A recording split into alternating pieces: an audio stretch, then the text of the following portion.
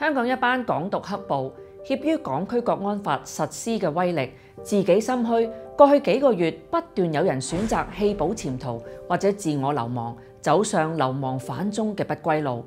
但無論係逃去英國、美國、德國或者其他嘅西方國家，或偷渡去台灣乞求民進黨施舍收留，流亡反中真係有想像中咁美好嘅風光？我哋成日聽到有句俗語叫做寒天飲冰水，冷暖自知。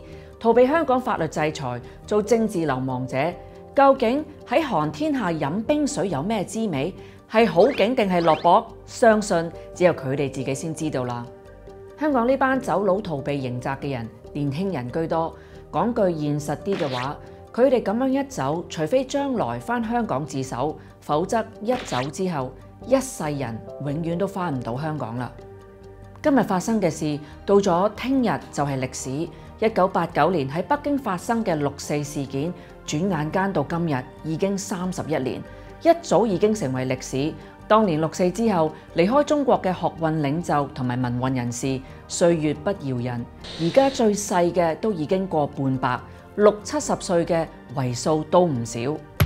香港嘅黑暴港獨分子最近時興玩走佬，走到英國、美國等。尋求政治庇護，但少少離家老大回，甚至到死都返唔到香港，真係咁浪漫？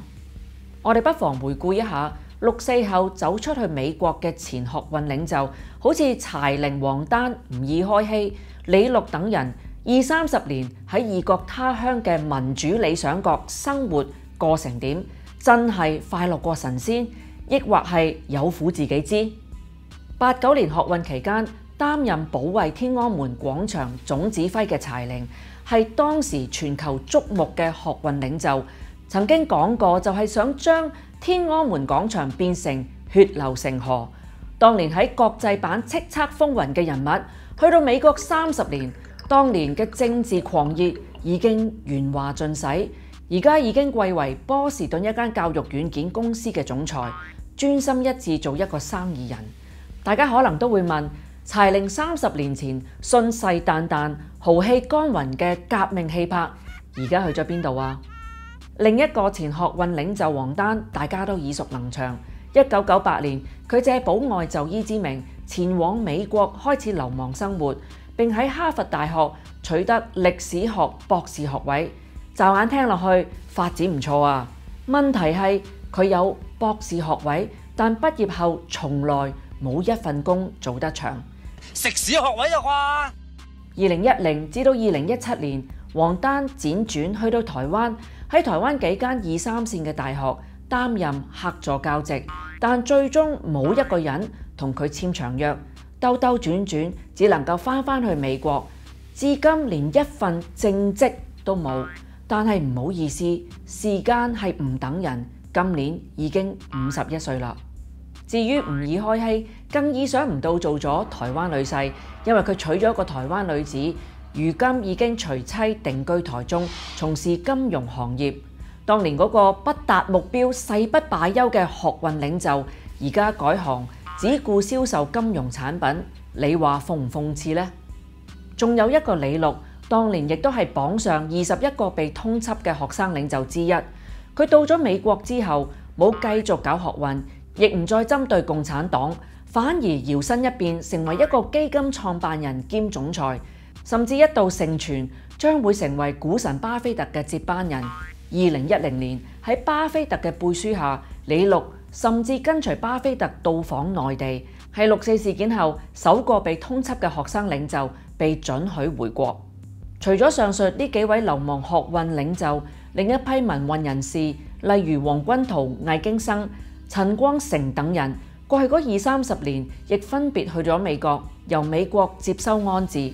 就算一張廁紙、一條底褲，都有佢本身嘅用處噶嘛。由於美國同中國係一種大國競爭嘅關係，美國收留咗中國呢一批學運同埋民運流亡者，純粹只係為咗民主、自由、仁義道德。如果你信嘅話，咁獅子應該早就改行食素啦，成為素食者啦。呢個世界邊有咁多免費午餐啊？喺美國做流亡反中嘅分子，第一個可以想象到嘅就係寄人篱下，養人避息，即係需要睇人面色咁做人。人嚟鄉賤真係有咁自由同咁有尊嚴？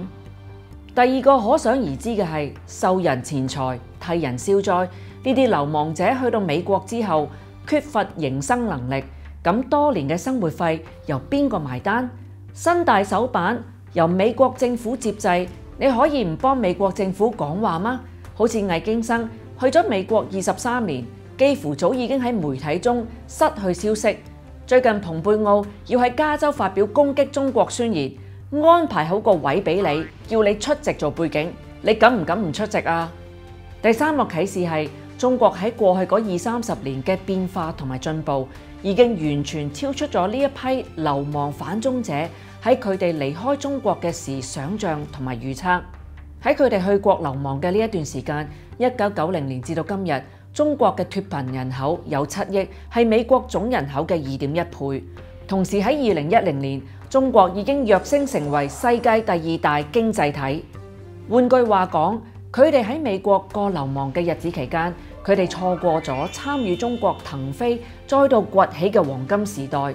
十四億人安居樂業，內地而家仲有幾多人識得你柴玲、王丹、黃君濤係邊個啊？內地新一代關心嘅係范冰冰或者邊個網紅直播帶貨呢啲新聞。多過關注你陳光誠出席特朗普連任造勢大會，又話要支持美國打擊中國呢啲演講，唔知你係邊個，當你冇到呢啲，咪係流亡反中者嘅結局咯。講到底，流亡反中真係咁風光，做美國對付中國嘅棋子真係咁盞鬼。中華民族嘅再度復興係歷史大勢，時間係喺十四億人呢一邊，選擇流亡反中嘅人。其實係選擇自己俾歷史湮滅遺忘。